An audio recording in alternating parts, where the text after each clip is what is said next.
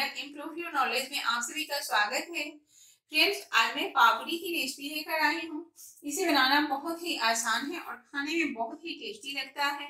इसे हम होली पर अक्सर बना के डब्बे में रख देते हैं। कोई भी गेस्ट या फ्रेंड आए, फटाफट हम इसकी चाट बना के सर्व कर देते हैं। ये बहुत ही क्रिस्पी होता है।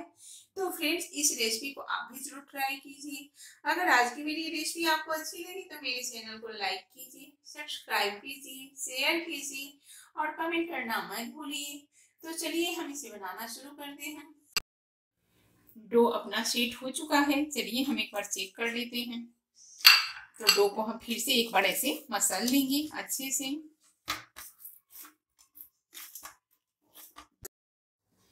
डो को हमने एक बार फिर से मसल लिया। आप देख सकते हैं कितना बढ़िया अपनी पापड़ी का डो तैयार हुआ है। अब हम इसके दो टुकड़े कर लेंगे। तो ऐसे हम दो टुकड़े करेंगे और इसके बॉल्स बना लेंगे। बिल्कुल जैसे हम पूड़ी का या पराठा का लोही तैयार करते हैं, उसे हम इसका एक बॉल बना लेंगे।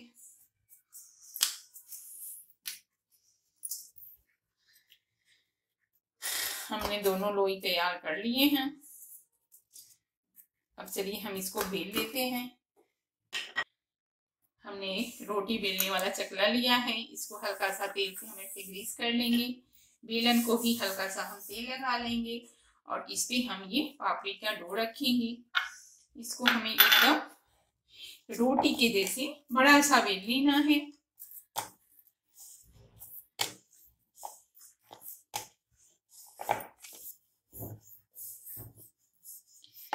हमने इसे बड़ा साइज़ में बेल लिया है। तो आप देख सकते हैं इसकी थिकनेस। ऐसे ही हमें पापड़ी के लिए बेलना है। बड़ा सा पूरा बेल देना है। आप चाहें तो इसे प्लेटफॉर्म पे भी बेल सकते हैं। अब हम क्या करेंगे? इसे एक फूक की मदद से होल करेंगे। इससे क्या होता है? अपनी पापड़ी जो है वो फूलती नहीं है तो हमें अच्छे से गूंद लेना है कांटे की मदद से।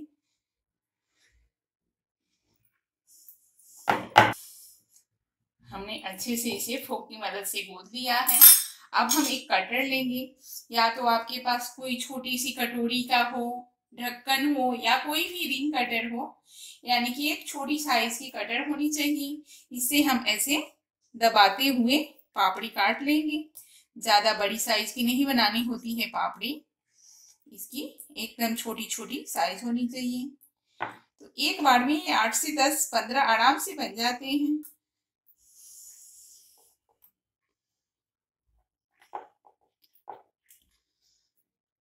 आप देख सकते हैं, हमने इसमें कितने सारे पापड़ी बना लिए हैं। अब हम ये डो को ऐसे साइड से निकाल लेंगे और पापड़ी को अलग कर लेंगे।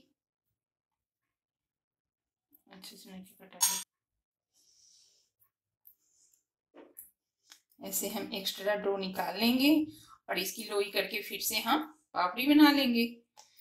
तो ढेर सारी पापड़ी हम बना सकते हैं इतना ही डो से। अब चलिए हम गैस की तरफ़ चलते हैं। तेल गरम होने के लिए रख लिया है। तेल अच्छा खासा गरम हो चुका है। तेल को सबसे पहले हमें गरम कर लेना है। फिर फ्लेम को हमें स्लो कर लेना है, क्योंकि तेज फ्लेम भी हम पापड़ी कभी फ्राई नहीं करते हैं। नहीं तो ये ऊपर से जल जाएगा और नीचे से क्रिस्पी नहीं होगा। तो हमने गैस को मीडियम करके और एक एक पापड़ी इसमें छोड़ देंगे। आप देख सकते हैं। एक बार में जितनी पापड़ी आ सकेगी, हम इसमें डाल देंगे।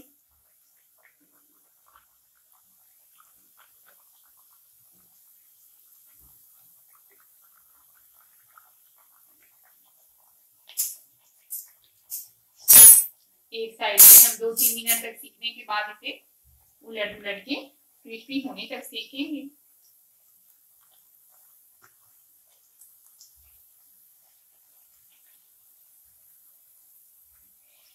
ऐसे हम इसको उलट देंगे और दोनों साइड से करारे होने तक सेकेंगे।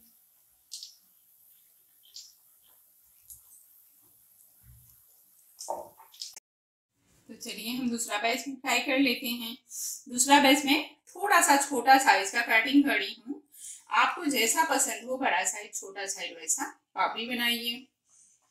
तो हम ये छोटा साइज़ वाला फ्राई कर रहे हैं।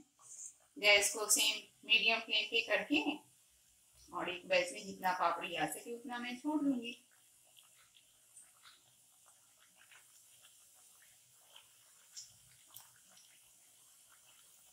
अब इसे हम आठ से दस मिनट तक उलट पलट के क्रिस्पी होने तक सेक लेंगे।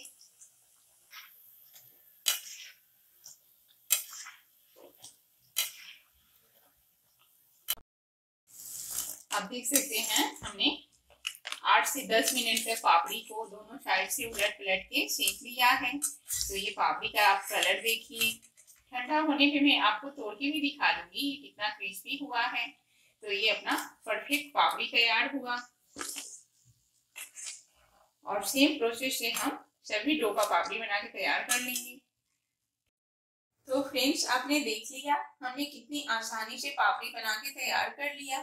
तो इसे आप भी ट्राई कीजिए और मेरे चैनल को लाइक कीजिए सब्सक्राइब कीजिए शेयर कीजिए और कमेंट करना मत भूलिए। धन्यवाद।